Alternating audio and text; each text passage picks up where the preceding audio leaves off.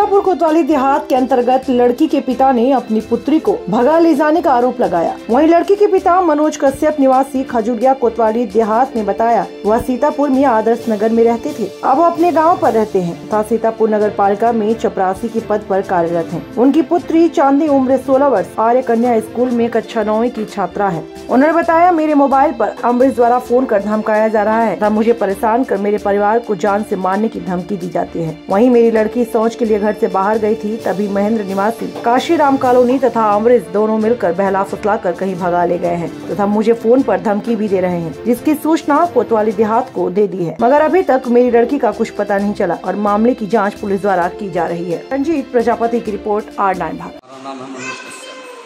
क्या मामला है तुम्हारा? हमारा मामला ये है कि हम कल ड्यूटी गए थे हमारी लड़की नौ पौने नौ बजे लैट्रीन गई मकान के पीछे। और बच्चे हमारे छूटे गए थे तो वो खेल में पड़ गए तो वो अपना घर चले आए और घर आने के बाद में उनकी माँ ने दस पाँच मिनट बाद ध्यान दिया तो बाहर गई। तो जो है वहाँ पे डिब्बा ही मिला खाली। दूसरे से फ़ोन लेके पूछा मतलब बात उनसे किया कि कहा ऐसा ऐसा हो गया है, तुम कहाँ हो? तो हमने कहा नगर पालिका में हम हाजिरी लगाने गए हैं, वहाँ से हमारे क्या हुआ? तो उसने कहा, लड़की गायब हो गई यहाँ। तो हम वहाँ से भागे, सीधे घर आए, घर आके जंगल बंगल हर जगह ढूंढा उसको। मगर जो है वो नहीं मिली। नहीं जब मिली तो हम वही दस ग्यारह ऐसे ही बजा होगा। तब जाके जो है इतना दिमाग टेंशन में था तो कुछ समझ भी नहीं पाया। तो जाके एफ़ आई आर मतलब अप्लीकेशन लिखवा के कुतवाली में देहात कुतवाली में दिया टिड़वा में। किसी के ऊपर शक है तुमको? हमें शक है एक महेंद्र नाम का लड़का है और वो रहता था राम कुमार के वहाँ। राम कुमार के वहाँ रहता था गुप्ता के वहाँ और उन्हीं के वहाँ कबाड़ वाड़ बिनता था। तो वो और उसके जो है वो लड़का ये सब मिलके जो है हो सकता है साजिश किया है। इसीलिए हमारी लड़की गायब किस क्लास में लड़की पढ़ती थी? लड़की हमारी कक्षा नौ में थी। क्या नाम है? उसका नाम है चांदनी। किस स्कूल में? ये ये आर कन्या इंटर कॉलेज। और हमको रात में धमकी वाला कॉल भी आया पच्चीस तारीख को। रात में आया वही नौ बजे। फ़ोन आया कि तुमको सबको जो है, हम मार देंगे।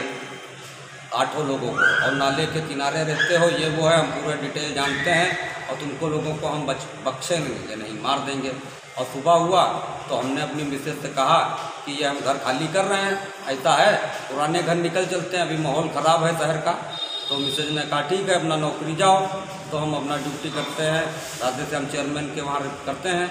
तो अपना कागज़ ले जाना फ़ाइल वाइल यही सब काम है हमारा। तो हमने कहा ड्यूटी कर रहे हैं। वहाँ से हम जल्दी छुट्टी ले आएँगे ग्यारह बजे। अपना सामान ढो लिया जाएगा पुराने घर आ जाएँगे।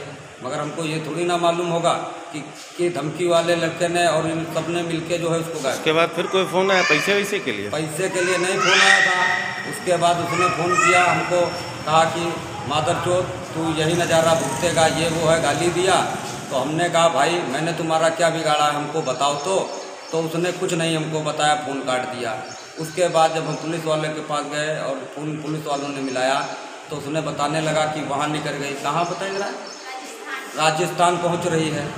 फिर उसके बाद उसने जो है फ़ोन काट दिया।